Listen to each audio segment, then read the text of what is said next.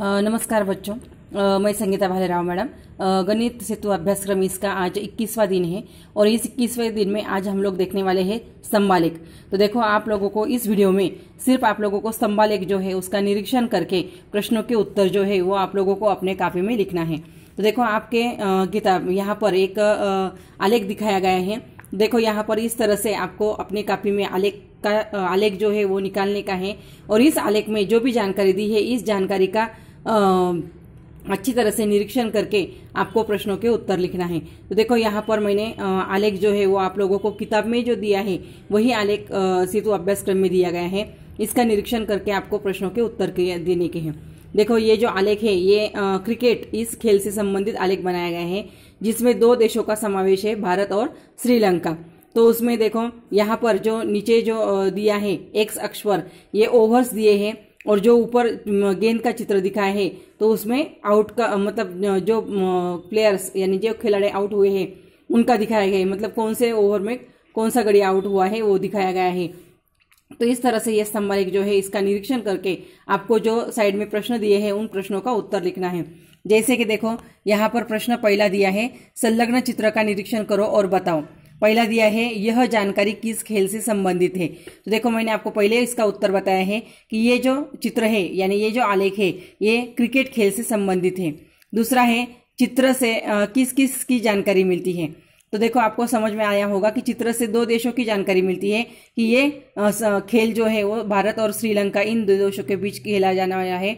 उसी तरह यहाँ पर ओवर्स जो है वो दिखाए गए हैं। उसके बाद यहाँ पर गेंद का चित्र जो है, जिसके द्वारा यहाँ पर कौन से ओवर में कितने कितने, कौन आउट हुआ है, ये भी जानकारी इस चित्र से मिलती है।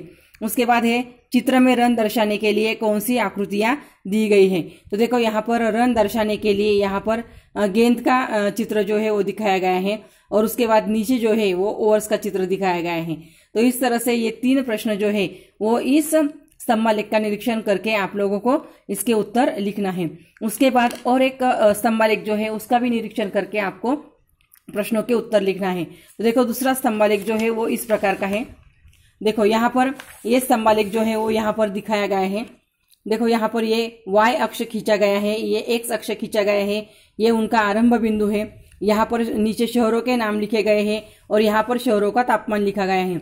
यहाँ पर पैमाना लिखा है वाई अक्ष पर एक इकाई बराबर पाँच अंश सेल्सियस इसलिए देखो यहाँ पर पाँच, दस, पंद्रह, बीस, पच्चीस ऐसे दिखाए गए हैं।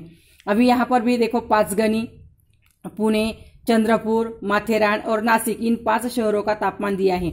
जैसे कि देखो पांचगनी, इसका तापमान कितना है? 25 अंश सेल्सियस पुणे पुणे इस शहर का तापमान है 30 अंश सेल्सियस चंद्रपुर इस शहर का तापमान है 35 अंश सेल्सियस। माथेरान इसका तापमान है 25 अंश सेल्सियस और नासिक इसका तापमान है 30 अंश सेल्सियस। तो इस तरह से ये आलेख दिखाया गया है। अब इस आलेख का भी निरीक्षण करके आपको प्रश्नों के उत्तर लिखने हैं। तो देखो यहाँ पर बाजू में उसके प्रश्न भी दिए गए हैं। पहला दिया है, खड़ी और आड़ी रेखाओं की, रेखाओं पर कौन सी जानकारी दी गई है? तो देखो, यहाँ पर खड़ी रेखा पर तापमान की जानकारी दी है और आड़ी रेखा पर शहरों के नाम दिए गए हैं। दूसरा प्रश्न है, सबसे अधिक तापमान किस शहर का है? तो देखो, सबसे अधिक तापमान मतलब जो स्तंभ सबसे ऊँचा है, यानी चंद्रपुर का तो इस शहर का तापमान अधिक है। तीसरा है, समान तथा अधिकतम तापमान वाले शहर कौन से हैं? देखो, समान तापमान कौन से शहर का है? तो ये देखो, ये और ये समान तापमान है तो मतलब पाँचगनी और माथेरान, इन दो शहरों का तापमान समान है। उसके बाद दिया है, किन शहरों का अधिकतम तापमान तीस अंश सेल्सियस है?